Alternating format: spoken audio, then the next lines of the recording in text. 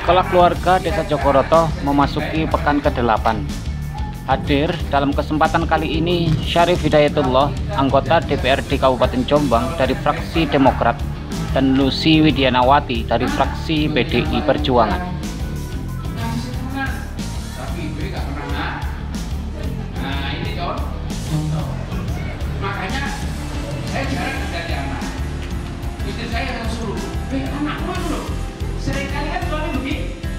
Gus Sentot, sapaan akrab Syarif Hidayatullah memberikan beberapa pelajaran yang dapat menambah wawasan keluarga sehingga mampu menanggulangi tingginya angka perceraian dalam rumah tangga.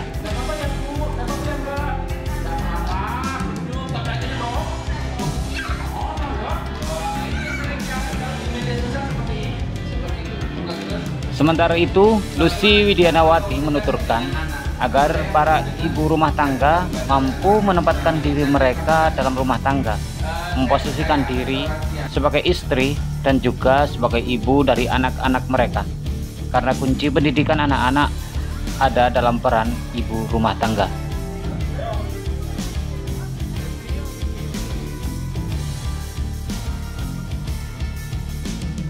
TV Jogoroto melaporkan.